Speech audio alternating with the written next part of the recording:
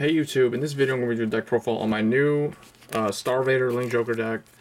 So this deck features my favorite Link Joker Vanguard uh, since Link Joker's debuted. Um, so we'll get into that in a second. But a lot of decks that I've seen so far, up until set 17 comes out, I've seen a lot of people uh, make Star Vader Garnet Star Dragon, the, the Legion from the Trial deck, Will of the Lock Dragon, uh, Trolloc 17 with Star Vader Chaos Breaker Dragon. That's one way to go about building the deck. I don't like that style of play. Um, I don't think it's really necessary. Chaos Breaker Dragon with Infinite Zero Dragon is really the way to go uh, in terms of making sure you lock the opponent's stuff and then when you use Chaos Breaker Dragon, the turn you're able to lock their stuff, it just sets it up correctly for Chaos Breaker's uh, limit break to go off. Whereas with Garnet Star, if you open up with Garnet Star and then you go Chaos Breaker later on, you're not really gaining anything because their stuff gets unlocked uh, on their end phase. Uh, and then when it's your turn, you ride Chaos Breaker and you're starting from zero. So I don't really think these cards are meant to be run together. At least from playtesting the deck, uh, I think there's a much better choice and there's a much better build available right now uh, with when it comes to building Star Vader, Link Joker style decks. Um, the other Link Joker deck, the alternative would be to go Deletors. Deletors is another one that I'll be doing in the future. So this is my Deletor deck. Um, that one, stay tuned for that. But that's that's completely different. So for Link Joker, for Star Vaders, the new one, the best build that I've come up with is really the Legion combined with my favorite Link Joker unit of all time, Star Vader Nebula Lord Dragon. So he is my favorite one. A lot of people, I remember people would always talk down about him saying he's bad, he's not good, his counterblast 2 lock a rear guard. Uh, well, it just so happens that the trial deck came out with the support that Nebula Lord had really been waiting for. It makes this combination, Nebula and Garnet Star, is just a much better combination. Um, his limit break in late game, powering up everything. Uh, the fact that uh, there's a certain card that makes this card effect go off so much better than the way it used to run. Um, so I think this is the way to go. I've been playing Star Vaders like this, and it works a lot better than when I ran uh, Chaos Breaker with uh, Legion. So I like this more. It's also the aggressive. This is the aggressive Link Joker edition, whereas Chaos Breaker is the defensive style. So I think just mixing these two together is just a much better option. So this is the grade 3 lineup for Star Vader Legion, at least for now, before Blazing Perdition comes out. And the card that makes Nebula Lord amazing is the Legion Mate for Garnet Star. Companion Star Vader Photon. When he's placed on R, if you have a Star Vader Vanguard, the opponent has a locked card, lock something. So, how he helps Nebula, Nebula locks the Vanguard booster most of the time, or a rear guard behind a front line and then Photon gets called to the field and he locks the front row. So right there, that's two locks with limit break. That's plus 6k to the whole front row. It's just really good. Um, that's the reason why I feel like if you're gonna play Star Vaders right now, the best way to go is, and you don't want to use Break Ride because Infinite Zero is really good. Um, but I think Infinite Zero and Chaos Breaker are meant to run in the same deck, and uh, Nebula and Garnet Star work real well together. At least because the Legion Mate complements Nebula's limit break so well. So, four Photon, and then four Radon, 12k.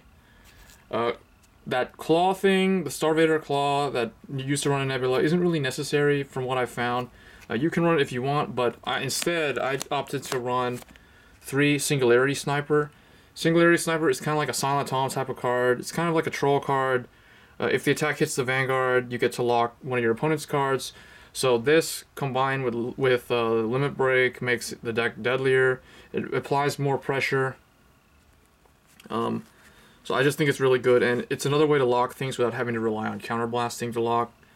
And it's another rear guard besides photon that technically enables you to lock something, and it can lock front or back row. So it, it works.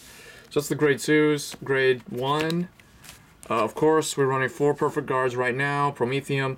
Uh, they, I believe they are going to get a quintet wall, um, so it'll probably change to three perfect guard and uh, one quintet wall. Uh, if you really want to run the quintet wall right now, you can. You can just check in like any random uh, new quintet wall like this. So it's available already, but uh, I would just hold out until that one's available. So anyway, four perfect guard, and then three of the 8K vanilla.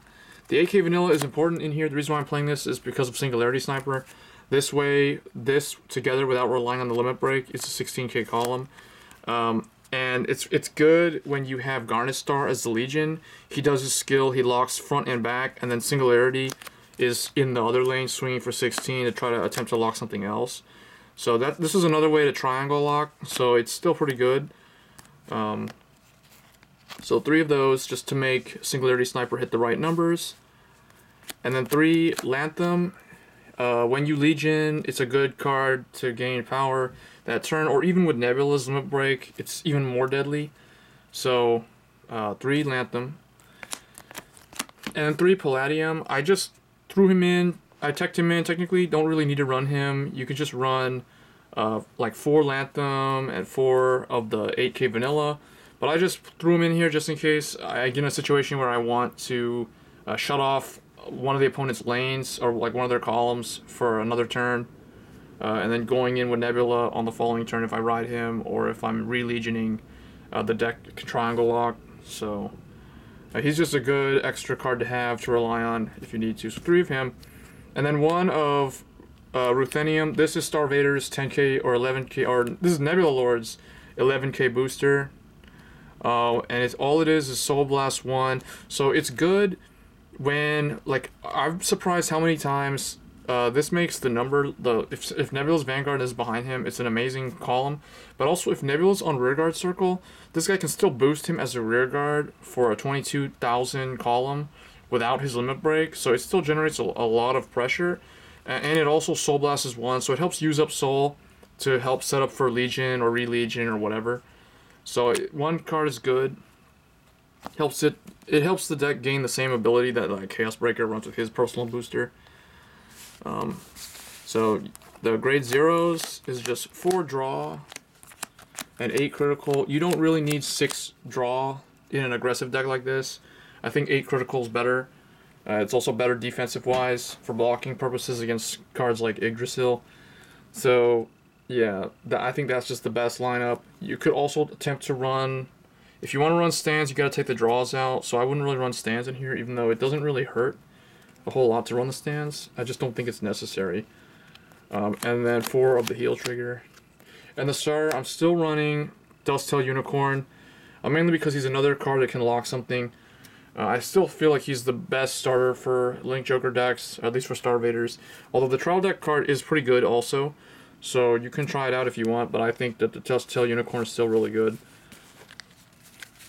So that was basically it um, for just basic field setup. Ideally, you want a lane like this. You might have a Lanthanum here. You might have this over here. Uh, and Nebula would be over here. And either Nebula's going to be here, or Garnet Star with his Legion is going to be over here. So you do something, if you're Legioning, you can do a setup like that. Uh, or, or like, if you want, you can, most of the time, the starter, will I won't really use it unless I ride Nebula first.